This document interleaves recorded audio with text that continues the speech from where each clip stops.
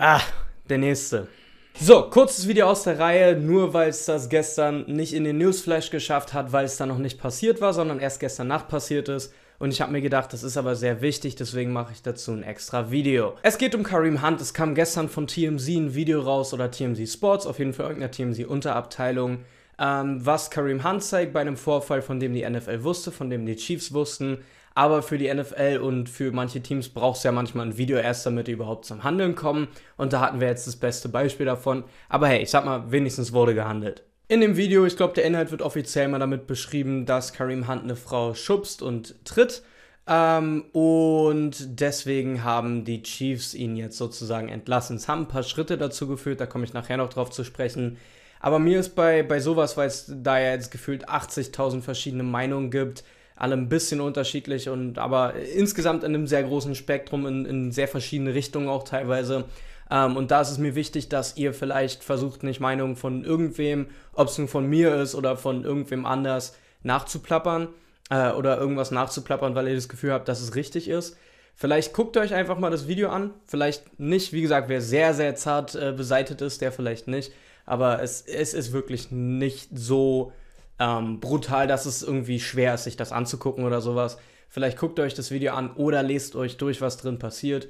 Ähm, und dann bildet ihr euch eine eigene Meinung oder sowas. Das halte ich immer für relativ klug. Insgesamt sagen jetzt viele Leute, die Chiefs haben richtig gehandelt und äh, ich, ich bin nicht dumm genug, um mich öffentlich dazu zu äußern. Aber sie haben ein Statement rausgegeben und in dem Statement heißt es: Earlier this year, we were made aware of an incident involving running back Kareem Hunt. At that time, the National Football League and law enforcement initiated investigations into the issue. As part of our internal discussion with Kareem, several members of our management team spoke directly to him. Kareem was not truthful in those discussions. The video released today confirms that fact. We are releasing Kareem immediately. Ich bin jetzt hier, um quasi der Grinch zu sein und den Heiligenschein ein bisschen von den Chiefs wegzunehmen, denn Kareem Hunt war zum Beispiel schon auf der Commissioner Exemption oder wie auch immer die Liste heißt, also auf der Ausnahmeliste vom Commissioner. Das heißt, er hätte weiter sein Gehalt gekriegt, hätte weiter ins Gebäude gehen können, hätte im Gebäude dort Hilfe kriegen können, wenn er zum Beispiel, wenn sein Problem Drogen gewesen wären oder sowas, oder halt auch Beratung, Anger Management, was auch immer, hätte aber nicht mittrainieren dürfen und hätte nicht mitspielen dürfen. Das heißt, niemand kann da auch absehen, wie lange man auf so einer Liste bleibt. Der wäre vermutlich während der kompletten Investigation auf der Liste geblieben und hätte den Chiefs sozusagen eh nichts gebracht, plus sie hätten weiter bezahlen müssen für ihn. So, das ist die eine Sache.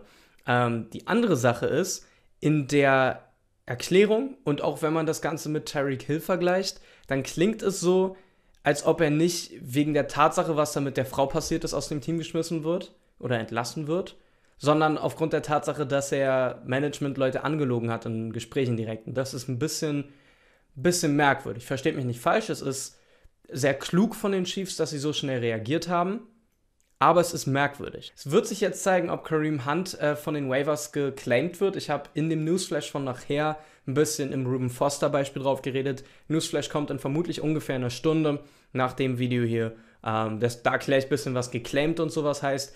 Ich nehme nicht an, dass es passieren wird. Ich gehe aber fest davon aus, dass er nochmal Football spielen wird. Ähm, ja, also fangt mit der Information an, was ihr wollt. Seid wütend, seid froh, wie auch immer. Ähm, aber ich frage mich nur, wieso Tyreek Hill noch bei den Chiefs spielt.